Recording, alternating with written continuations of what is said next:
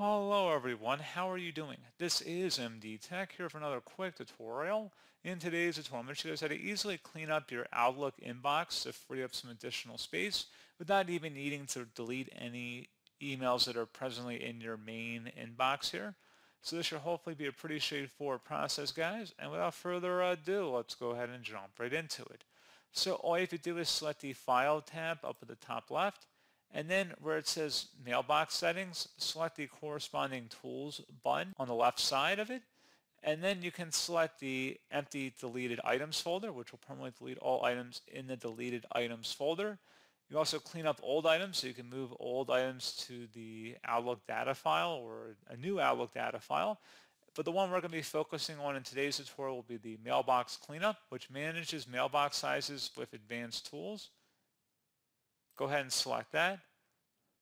So this kind of gives you a catch-all for most different areas that you'd want to be doing any cleanup task with.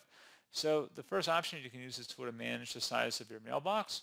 So you can find types of items to delete or move, empty the deleted items folder, or you can have Outlook transfer items to an archive file.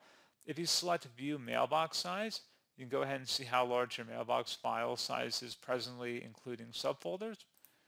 And if you want to go ahead and modify files that are a certain period of days old or in terms of how large they are, you can search for those sort of files as well. You can auto archive old items to a different file on your computer, so you can auto archive.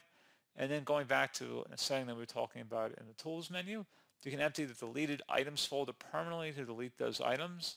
You can view the deleted item sizes first, or you can just go ahead and just empty them out. And then if we went back into the mailbox cleanup, you can also delete all alternate versions of items in your mailbox as well. So you can view conflict sizes as well. If you see any particular files in here you don't need, you can go ahead and clear them out or delete them.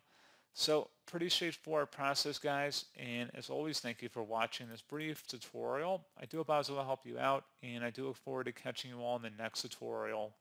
Goodbye.